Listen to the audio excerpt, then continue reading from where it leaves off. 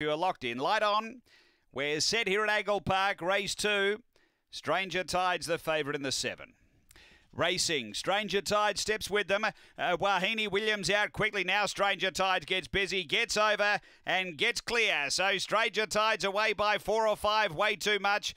Uh, then Dashing Jinx trying to warm up. Four away is Wahini Williams. Forest Bumpet, he's out designed, but tearing away is Stranger Tides out by eight or nine. Over way too much. Dashing Jinx and a gap away. He's out designed, but on the turn, Stranger Tides well clear over Dashing Jinx to second. Uh, but Stranger Tides gets it done by six. Uh, Dashing Jinx second. Way too much third. Then he's our design. Next is Forest Bump and Wahini Williams. Time here is good, around, in fact, 29.77.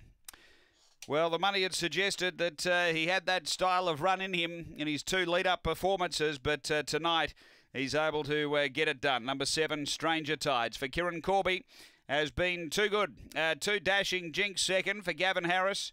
And third going to number one, way too much for Richard Pearce. Numbers are 7 to 1 8 fourth after uh, Angle Park Greyhounds, race number two.